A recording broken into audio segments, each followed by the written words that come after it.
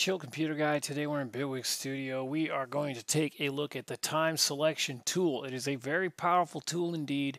Understanding it is of utmost importance because you can do a lot of things with it um, that you can't do with other tools. Uh, it's a very, very powerful workflow piece.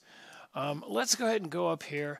Um, what I often do is I will start um, my song or my pattern, or in this case, uh, my my uh, my drum samples here.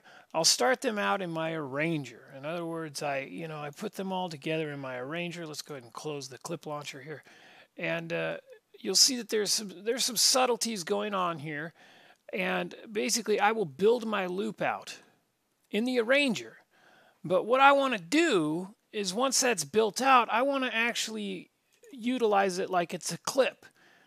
Now, there's a couple of ways to do this. First off, if you lasso this entire thing, okay, make sure you don't get the gray. And that's why I got these very contrasty colors. I recommend when you're working with sections on arrangements to make high contrast colors so you can see them very clearly.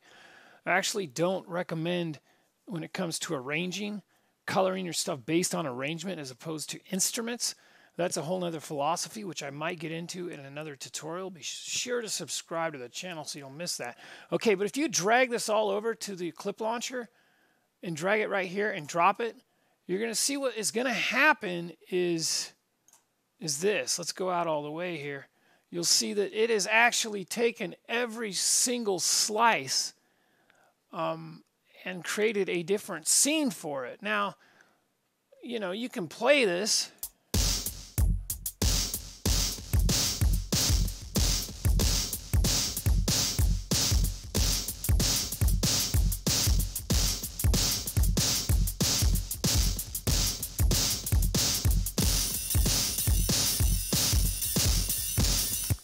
what that's done is it's basically taken every section or every bar and created a separate uh, uh, scene for it, basically. Um, I don't want to do that, though. I want to Control Z that. Um, let's go back to the arranger here. What I want to do is I want this to be laid out exactly like it is in the arranger, but I want it to be able to pull it in as clips. Okay? Well, if you use the normal selection tool and you lasso all these, you can consolidate, okay? And if you hit consolidate, what's going to happen is you're going to get certain clips that you have to go back and you have to now drag these out. Oh, geez. Oh, God. You got to deselect first. Don't forget to deselect. Um, but you got to drag all these out, you know? And so this is a lot of extra work, you know? You know, if you drag all these out and then you pull it over, it should play fine as a clip. But, oh, and look, we even missed a piece right here. But why do that? Let's Control Z all that. You know, and if you don't drag them all out, if you just drag it over like this, what'll happen is these clips are going to realign because they're going to play they're going to basically play as if this is the entire loop. Now, this is actually a decent way to get some syncopation, you know, taking your loops, breaking them down, making them different lengths, and then uh, putting them into the clip launcher because when you launch them as a clip, they're going to automatically turn around at the longest clip.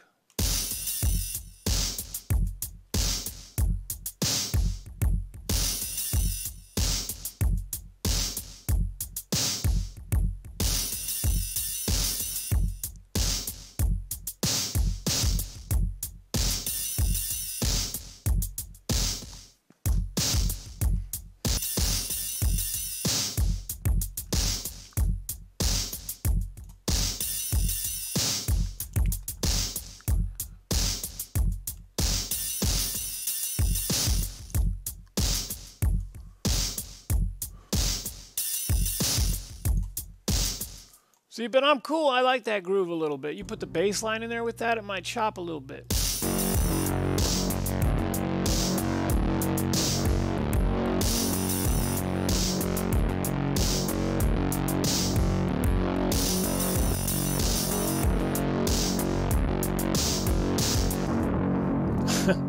but anyway, so back to the arranger. That's actually a decent way to get some syncopation. I've actually used this technique before in the past to get some syncopation and done some alterations, and I've actually found some gold. Because remember, there's hook gold in syncopation. Syncopation is golden as far as uh, finding hooks and whatnot in there. But that's not what we want to do. Let's go back to there. What we want to do is we want to use the time selection tool, okay? And it's right over here, the time selection tool. It's by hitting 2 on your keyboard. As far as the pointer tool, they've made it so if you're not on the header of the clip, it automatically turns to the time selection tool. And that's kind of a powerful thing, but when it comes to selecting large areas and with tons of clips in it, you want to be very precise, I recommend going to the time selection tool going right to the tool because that way it'll be it won't toggle off and on because if you use the selection tool in that way it will toggle off and on and it's going to create some confusion But you want to start at the corner of the clip because if you drag this you can see that's just the kick drum for example. You got to drag and make sure that all of these things are highlighted blue. So basically everything in this blue square is going to be the clip.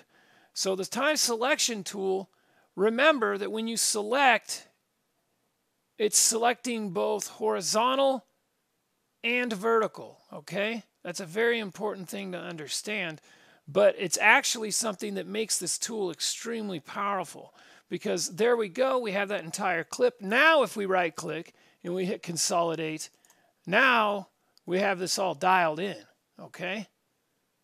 Why it switched colors, I have no idea, okay?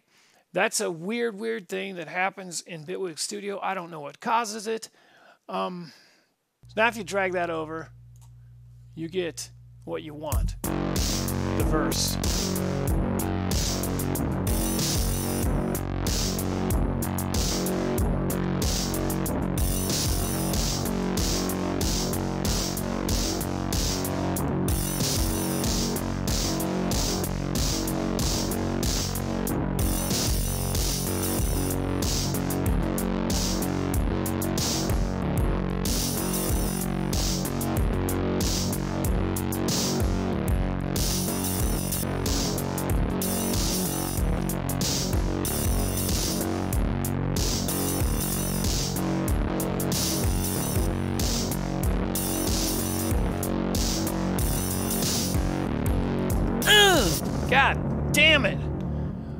Gotta get your DAW. You gotta get your you gotta get some funk out of the DAW. Fucking funky as a motherfucker. But that's how you do it. The time selection tool. Um, also, check this out. This tool does a lot more than just uh, if you if you're if you're like an Ableton user, you know. Um, let's say you're an Ableton user. Normally in Ableton, what you do is you you make like a time selection. You know, you you you basically you know, drag out a thing here and you right click and you go add MIDI clip. Well, Bitwig does pretty much the exact same thing. Uh, remember, it's horizontal and vertical. And again, make sure if you're going to use the time selection tool, I recommend shortcut two, one, two. You know, one is the selection. Make sure you're on here because when you're actually on the tool yourself, you have a lot more liberties with it as far as, you know, the ability to just do one track, you know or some other, let's say I want to do three tracks. Say I want it to be that long, just like that, consolidate. So you can create clips. So you can pull your arrangement out in clips and um, you know, as far as what color the clip is, that seems to be random. I haven't figured that out yet. I haven't figured that out yet.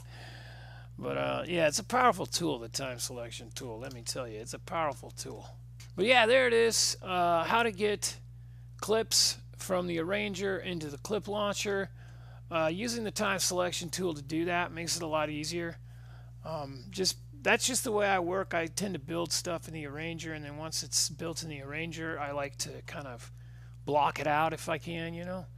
Um, but using using this tool is, a, is is very powerful. It's a very powerful tool, the time selection tool.